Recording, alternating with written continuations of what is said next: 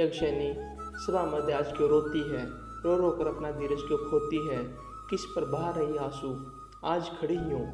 कायरता पर निज पुरुष की जो पड़े मृत्यु या अपने देवर कौरवों के खुले अन्याय पर, या अपने पति धर्मराज के भूले न्याय पर? या सोच रही हो विषम पिता में चुप क्यों बैठे हैं?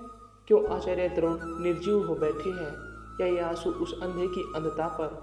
नहीं नहीं, मेरे आँसू है अपनी ही दीनता पर। सिर मेरा झुका हुआ है अपने भाग्य की हीनता पर। रेखाना मैं रो रही हूँ अपनी ही नग्नता पर। आँसू मेरे गांधारी के संस्कारों की भगनता पर। सोच रही हूँ इस देश में दशा बेचारी नारी की, जहाँ दशाएँ बनी साड़ियाँ, उसी देश की रानी की विषम द्रोण के मुँह छुपाने का मुझको दुख नहीं। तुम नहीं आए सका दुख है मुझे बस यही।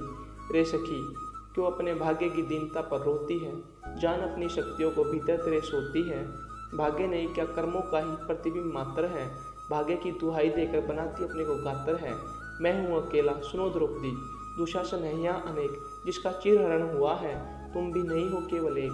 पुकार पुकार कर मुझको तुम करो ना स्वयं का अपमान। जल जाए जिसमें दुर्योधन, जलो स्वयं तुम अग्नि समान। दुर्गा चंडी साक्षात तुम ही हो, उनकी न मात्र मूर्ति मानो। महिषासुर मर्दिनी को तुम, स्वयं में ही बैठी जानो। हो जाओ यदि तुम सब एक। कौन सामने टिक सकता। पहचानो यदि तुम खुद को तो अन्याय आज ही मिट सकता। मोह ममता में डूबी गांधारी, यदि संस्कार ना दे पाई, करो धरा को संस्कार युक्त। बढ़कर तुम द्रुपद जाई, और वचन देता हूँ मैं। उठाया तुमने शस्त्र यदि, बढ़कर स्वयं दुष्टों को काटूँगा। तेरी बच्ची की धार पर चढ़कर।